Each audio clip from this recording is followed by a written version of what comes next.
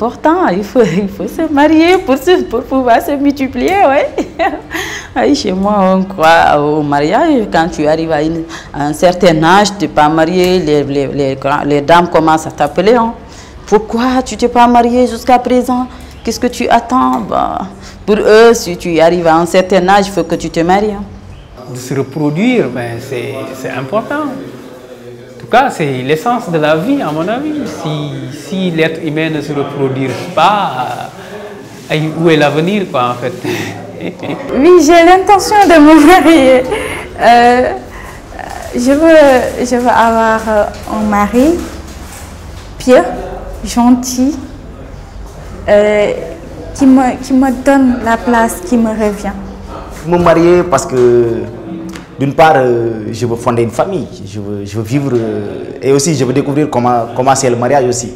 Voilà, malgré tout ce qu'on dit autour du mariage, je veux découvrir. Et en- en- enfin, je veux, vraiment euh, épouser pour, rendre, pour rendre heureux aussi à ma maman aussi, qui, voudrait bien que son fils voilà, lui, lui, donne bruit. Hein. Si on te choisit un mari, il y a quelque chose qui te manque. Comme c'est ses parents qui ont choisi son mari, elle accepte. Je ne pense pas que avec cette, ce siècle, je ne pense pas que ça durera. Surtout, surtout quand on fait les études. Non, moi j'attends juste le jour que, que ça se présente. Oui. Je n'ai pas encore trouvé. Je n'ai pas encore trouvé. Mais je serai prête euh, au moment où j'aurai gagné quelque chose, au moins, au moins que je trouve du travail, que j'ai, euh, c'est ça que j'aimerais plus, que j'ai du travail pour ne pas dépendre de mon mari. C'est quelque chose de tout à fait normal, mais je ne veux pas verser dans l'idéologie, je peux dire des Sénégalais, parce que d'habitude ils disent qu'une fille, à partir de 20 ans, de 22 ans, tu dois te marier, fonder une famille. Donc tu sais, il y en a de ces boulots, c'est pas ton genre, tu dois être mère de famille, faire quelque chose de facile. Mais moi, je dis que je suis contre. Une femme, l'essentiel est que ça soit un métier très noble, mais une femme, elle est capable de tout faire, de faire aussi ses passions. Donc, tu peux te marier, avoir des enfants, mais aussi essayer d'agencer les deux entre vie familiale et carrière et tout. J'ai l'intention de me marier un jour et c'est très important pour moi parce que c'est surtout pour ça que je travaille dur. Euh, parce que je veux pas, par exemple, me retrouver avec une famille euh, avec laquelle je pourrais pas, je pourrais pas leur donner ce qu'ils veulent quoi en fait.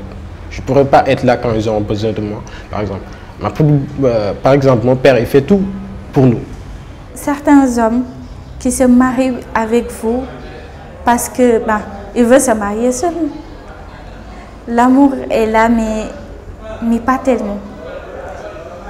Ben, ils, ils disent que vu qu'ils doivent être les chefs, quoi, c'est un truc de, de chef et de, de soldat. Et non, non, pour moi, c'est pas comme ça. Je fonder une famille euh, et avoir des enfants. Je, je, veux profiter en quelque sorte de la vie parce que j'ai été enfant, je suis maintenant, été adolescent, je suis maintenant adulte. Voilà, logiquement, je vais avoir des enfants, hein, discuter avec eux de la vie, de mes expériences, profiter de, de, ce que j'ai pas pu donner, ce qu'on m'a pas pu donner dans la vie, que je donne ça à mes enfants.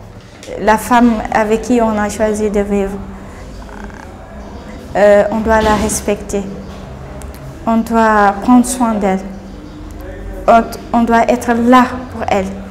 Et cette, cette relation doit être ficelée dans, dans, les, dans les bases du respect. Le mari idéal, est-ce qu'il existe même un homme idéal Je me demande. Mais comme toutes les filles, euh, bon, moi je ne suis pas trop trop exigeante en ça.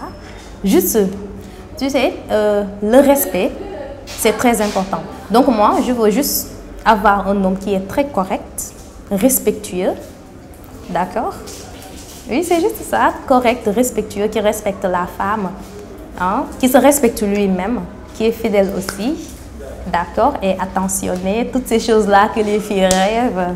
Je vais avoir euh, des fils euh, parce que euh, parce que moi j'ai pas vécu avec mon père. je, je veux savoir comment c'est de vivre avec mon fils, comment c'est de, de, de- de- vivre la complicité qui existe entre un fils et son papa, et avoir une fille aussi pour parce que finalement, c'est trop mimé d'avoir une fille. hein. Voilà, de, bien comprendre comment on peut avoir euh, une fille, un garçon, comment ils vivent. euh, voilà. Et j'ai toujours remarqué que dans une maison, c'est beaucoup plus euh, structuré quand on a des filles et, des garçons. Et que si on a seulement une jante, c'est pas facile l'éducation.